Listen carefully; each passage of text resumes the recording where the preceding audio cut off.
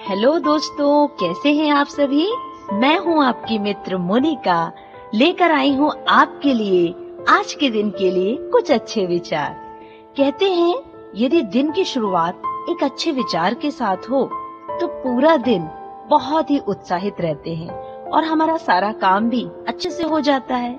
और बचपन में तो हमने ऐसा भी सुना था कि सुबह सुबह हम जो सुनते हैं वो दिन भर हमें याद रहता है और दिन भर हम उस पर मनन करते हैं, उसके अनुसार जीवन जीते हैं। चलिए शुरुआत करते हैं आज के अच्छे विचारों के साथ। व्यक्ति को कभी भी मौके का इंतज़ार नहीं करना चाहिए, क्योंकि जो आज है, वो ही सबसे बड़ा मौका है। गलत तरीकों से सफल होने से कई गुना बेहतर है सही तरीके अपनाकर असफल हो जाना। ज़िंदगी का हर एक छोटा हिस्सा ही हमारी ज़िंदगी की सफलता का बड़ा हिस्सा होता है। कमज़ोर व्यक्ति तब रुक जाते हैं जब वो थक जाते हैं और आगे नहीं चल पाते। लेकिन एक विजेता तभी रुकता है जब वो जीत जाता है। आपकी ज़िंदगी बहुत ही अनमोल और सुंदर है।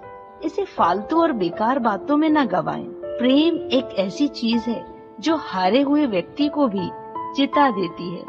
लेकिन घृणा एक पूरी तरह से सफल हुए व्यक्ति को भी नीचे गिरा देती है। जब आपको लोग पूछें कि आप क्या काम करते हैं? तो वे लोग वास्तव में आपको कितनी इज़्ज़त देनी है, इसका अंदाज़ा लगाते हैं। किसी भी व्यक्ति को ये नहीं सोचना चाहिए कि वो अपनी ज़िंदगी में कितना खुश है, बल्कि ये सोचना चाहिए कि उसकी वजह से कितने लोग खुश हैं। आपकी ज़िंदगी का हर एक दिन अच्छा हो, ये कोई ज़रूरी नहीं है, लेकिन हर दिन हमेशा से बेहतर हो, ये ज़रूरी है। कोई भी काम हमें करने से पहले मुश्किल ही लगता है। सफल व्यक्ति अपने लिए हुए फैसले से दुनिया बदलने की ताकत रखते हैं और असफल व्यक्ति दुनिया के डर से अपने ही फैसले बदल देते हैं। बनना है तो पानी की तरह बनो, जो अपना रास्ता खुद बनाता है।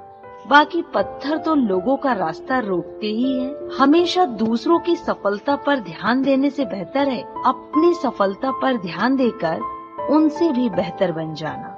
व्यक्ति को अपने जीवन में परछाई और आईने के जैसे दोस्त बनाने चाहिए, क्योंकि परछाई कभी साथ नहीं छोड़ती और आईना कभी झूठ नहीं बोलता। हमारी समस्या का हल सिर्फ़ हमारे पास ही है। दूसरों के पास तो हमारी समस्या का सुझाव है। एक समझदार व्यक्ति खुद गलतियाँ कम करता है, जबकि वो दूसरों की गलतियों से ही सब कुछ सीख जाता है।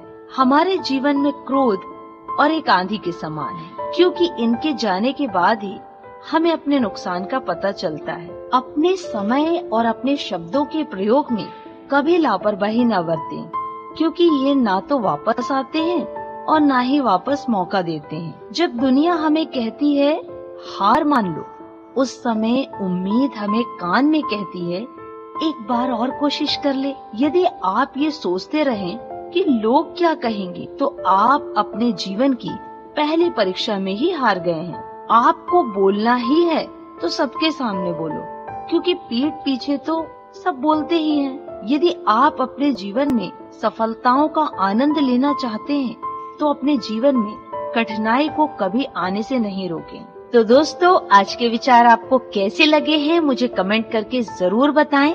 और पसंद आए हैं तो इसे लाइक करें, शेयर करें।